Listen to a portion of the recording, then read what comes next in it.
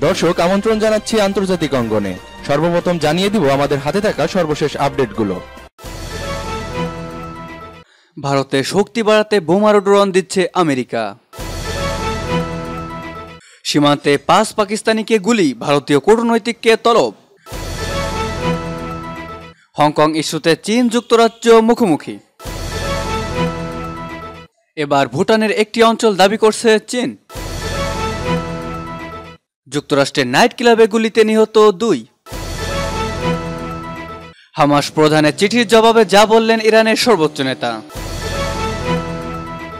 সর্বশেষ জানিয়ে দিচ্ছি নিজের স্বার্থে ইউরোপের উচিত পরমাণু সমঝোতা মেনে চলা বলছে ইরান। দর্শক এখন জানিয়ে দিব বিস্তারিত। ভারতে শক্তি বাড়াতে বোমার ড্রোন দিচ্ছে আমেরিকা। পূর্ব লাদাখে চীনের সঙ্গে উত্তেজনার মধ্যেই আমেরিকার কাছ থেকে মিসাইল ও গাইডেড বোমা বহনে সক্ষম অত্যাধুনিক প্রিডেটর বি ড্রোন কেনার প্রস্তুতি নিচ্ছে ভারত। চীন পাকিস্তানকে চারটি সশস্ত্র ড্রোন দেওয়ার সিদ্ধান্ত নেওয়ার পর পাল্টা এই পদক্ষেপ নিয়েছে নয়াদিল্লি। বর্তমান পরিস্থিতিতে যা অন্তত তাৎপর্যপূর্ণ। ভারত যে ধরনের প্রিডেটর বি ড্রোন ভারত কেনার কথা ভাবছে, সেগুলো মিসাইল এবং লেজার গাইডেড বোমা দিয়ে শত্রু শিবিরের উপরে আক্রমণ হানতে সক্ষম। শুধু তাই নয়, নজরদারির মাধ্যমে শত্রুপক্ষের গতিবিধির উপরে লক্ষ্য রেখে নির্ভুল নিশানায় হামলা চালাতেও এর জুড়ে মেলা ভার নজরদারির জন্য আমেরিকার থেকে গোয়েন্দা ড্রোন কেনার কথাবার্তা চলাচ্ছিল ভারতীয় নৌবাহিনী। কিন্তু বর্তমান পরিস্থিতিতে নজরদারির পাশাপাশি হামলা চালাতে সক্ষম ড্রোন কেনাই বেশি কার্যকরী হবে বলে মনে করা হচ্ছে। ইরাক, আফগানিস্তান এবং সিরিয়া এ ধরনের male armed predator B drone ব্যবহার করছে আমেরিকা। কিন্তু বর্তমান পরিস্থিতিতে নজরদারির পাশাপাশি হামলা চালাতে সক্ষম ড্রোন কেনাই বেশি কার্যকর হবে। এই ড্রোনগুলো একই সঙ্গে চারটি হেল ফায়ার মিসাইল এবং পাঁচশত পাউন্ড লেজার গাইডেড বোমা বহনে সক্ষম। ভারত নিজে এ ধরনের অ্যাটাক ড্রোন তৈরি করার চেষ্টা করছে, কিন্তু চীন পাকিস্তানকে চারটি ড্রোন দেওয়ার সিদ্ধান্ত নেওয়ার পরই দ্রুত আমেরিকা থেকে এ ড্রোনের ড্রোন কিনতে তৎপরতা হয়েছে ভারত। গদার বন্দরে চীন পাকিস্তান অর্থনৈতিক করিডরের নিরাপত্তার জন্য এই ড্রোনগুলো চীন পাকিস্তানকে দিচ্ছে বলে জানা গিয়েছে। এর পাশাপাশি পাকিস্তানি বিমান বাহিনীকে দেওয়ার জন্য জি জে টু ড্রোন তৈরি করেছে চীন, যা উই লং ডু ড্রোনের military version Wing Loong two drone চীনে বাণিজ্যিকভাবেই বিক্রি করা হয়। এশিয়ার বিভিন্ন দেশকে চীন তা বিক্রিও করেছে। তার মধ্যে রয়েছে সৌদি আরব, কাজাখস্তান, সংযুক্ত আরব আমিরাত এবং অন্যান্য দেশ। সূত্র নিউজ এইটিন সীমান্তে পাঁচ পাকিস্তানকে গুলি, ভারতীয় কূটনীতিককে তলব। সীমান্তের লাইন অব কন্ট্রোলে যুদ্ধবিরতি লঙ্ঘন করে পাঁচ পাকিস্তানি নাগরিকের ওপর গুলি চালানোর ঘটনায় ভারতের সিনিয়র কূটনীতিককে তলব করেছে ইসলামাবাদ। সোমবার পাকিস্তান পররাষ্ট্র মন্ত্রণালয় থেকে কড়া প্রতিবাদ জানানোর জন্য তাকে তলব করা হয় বলে জানিয়েছে ডন অনলাইন। আইএসপিআর এর এক বিবৃতিতে বলা হয়, রোববার রাতে নিকিয়াল সেক্টরে ভারতীয় বাহিনীর উস্কানিমূলক গুলিতে পাঁচজন বেসামরিক নাগরিক আহত হন। আহতদের মধ্যে তিনজন বালক ও দুইজন নারী। পাকিস্তানি সেনাবাহিনী এর যথাযথ জবাব দিয়েছে, তিনি যোগ করেন। পররাষ্ট্র মন্ত্রণালয়ের বিবৃতিতে বলা হয়, ভারতীয় বাহিনীর উস্কানিমূলক গুলিতে দশ বছর বয়সী জোনায়েদ, সাত বছর বয়সের আরিয়ান, সত্তর বছরের বয়সের বৃদ্ধা জোহান বেগম, পঞ্চাশ বছর বয়সী জুবায়েদা বিবি ও পনেরো বছরের কামরান শফিক গুরুতর আহত হন। হংকং ইস্যুতে চীন যুক্তরাজ্য মুখোমুখি। নতুন নিরাপত্তা আইন জারির পর হংকং ইস্যুতে চীনের সঙ্গে যুক্তরাজ্যের উত্তেজনা তৈরি হয়েছে। এরই মাঝেই সোমবার হংকংয়ের বিষয়ে হস্তক্ষেপ না করতে ব্রিটেনকে সতর্ক করে দিয়েছে বেইজিং। সোমবার ব্রিটেনে নিযুক্ত চীনের রাষ্ট্রদূত লেও জিয়াং ওয়ামিং এক সংবাদ সম্মেলনে যুক্তরাজ্যকে হংকং ইস্যুতে নাক না গালানোর পরামর্শ দিয়েছেন। চীনা এই রাষ্ট্রদূত বলেছেন হংকংয়ের তিরিশ লাখ বাসিন্দার সবাইকে নাগরিকত্ব দেওয়ার প্রস্তাব দিয়েছে যুক্তরাষ্ট্র, যা মোটা দাগে হস্তক্ষেপের সামিল। চীন বরেদিরা বলেছেন, নতুন এই আইনের মাধ্যমে আধা স্বায়ত্তশাসিত অঞ্চল হিসেবে হংকং যে স্বাধীনতা ভোগ করত সেটিকে গুড়িয়ে দিয়েছে বেইজিং।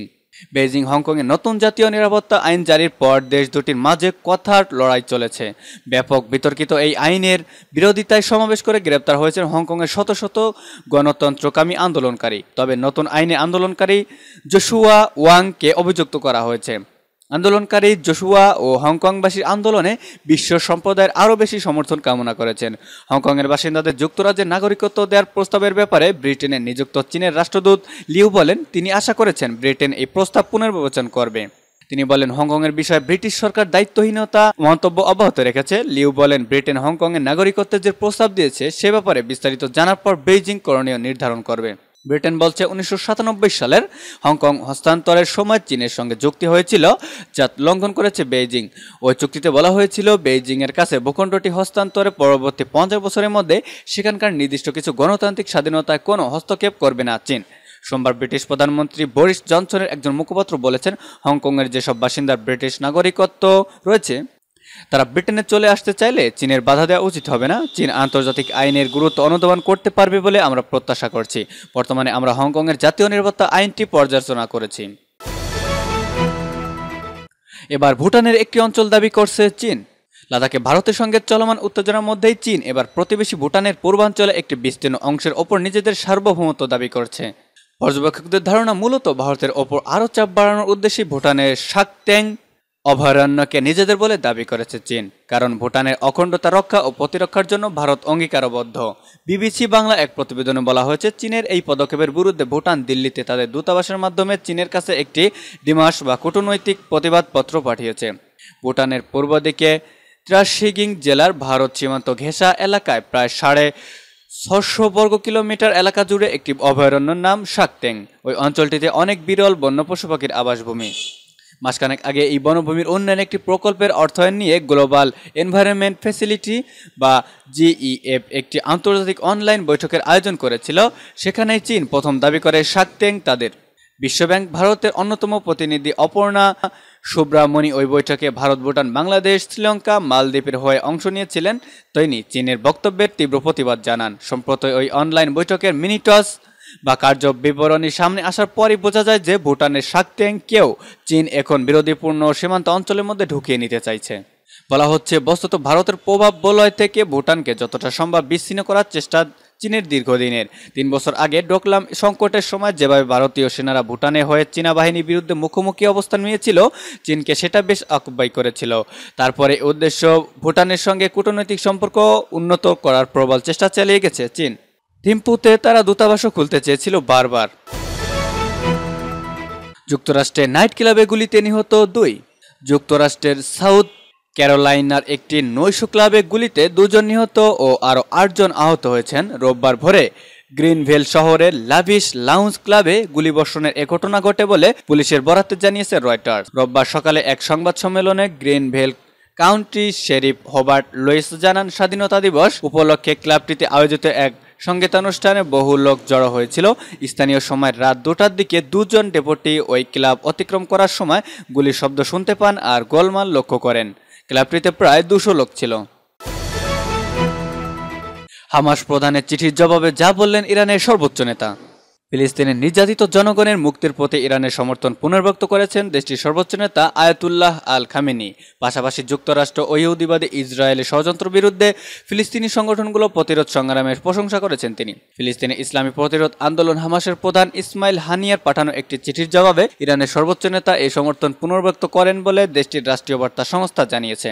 আয়তুল্লাহ আল খামিনি চিঠি বিষয়বস্তু সোমবার বিভিন্ন ইরানি গণমাধ্যমে প্রকাশ করা হয়। এতে তিনি বলেন, অবৈধ রাষ্ট্রটির বিরুদ্ধে সংগ্রামের কারণে ফিলিস্তিনি জাতির সম্মান ও মর্যাদা বেড়েছে। ইরানের সর্বোচ্চ নেতা তার চিঠিতে আরও বলেন, ফিলিস্তিনি জনগণ ও প্রতিরোধ সংগঠনগুলো এখন পর্যন্ত শত্রুর হুমকি ও প্রলোভনকে বিদ্যাঙ্গুলি দেখিয়ে প্রতিরোধ সংগ্রাম চালিয়ে গেছে, যার ফলে তাদের সম্মান ও মর্যাদা বেড়েছে। ইহুদিবাদী শত্রুদের ষড়যন্ত্রের মোকাবেলায় ফিলিস্তিনি জনগণ ও প্রতিরোধ সংগঠনগুলোকে ঐক্যবদ্ধ থাকার আহ্বান জানান তিনি। নিজের স্বার্থে ইউরোপের উচিত পরমাণু সমঝোতা মেনে চলা, বলছে ইরান। ইরানের পররাষ্ট্রমন্ত্রী মোহাম্মদ জাওয়াজারি বলেছেন, ইউরোপীয় দেশগুলোর উচিত তাদের নিজেদের স্বার্থেই পরমাণু সমঝোতা সঠিকভাবে মেনে চলা। ইরান গত চল্লিশ বছরের ইতিহাসে সবচেয়ে কঠিন নিষেধাজ্ঞা মোকাবেলা করছে বলেও তিনি উল্লেখ করেছেন। ইরানের পররাষ্ট্রমন্ত্রী গতকাল অনলাইন ভূমধ্যসাগরীয় অঞ্চল বিষয়ক এমডিই দু হাজার বিশ সম্মেলনে যোগ দিয়ে এ মন্তব্য করেন। আসন্ন মার্কিন প্রেসিডেন্ট নির্বাচনে কে বিজয় হলো তা ইরানের জন্য মোটেও গুরুত্বপূর্ণ নয় বলে উল্লেখ করেন জারিফ।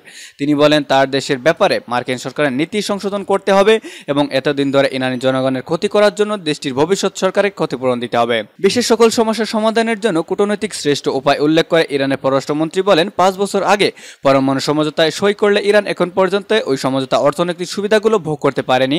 এজন্য তিনি আমেরিকার অপকৌশল ও ইউরোপীয় দেশগুলো প্রতিশ্রুতি ভঙ্গকারীকে দায়ী করেন।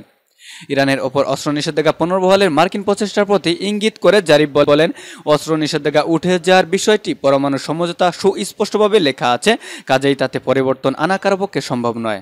সূত্র পার্স টুডে। আজকের মতো এখানেই শেষ করছি। সবার আগে সর্বশেষ সংবাদ জানতে আমাদের চ্যানেলটি এখনই সাবস্ক্রাইব করে রাখুন। ধন্যবাদ এতক্ষণ সাথে থাকার জন্য।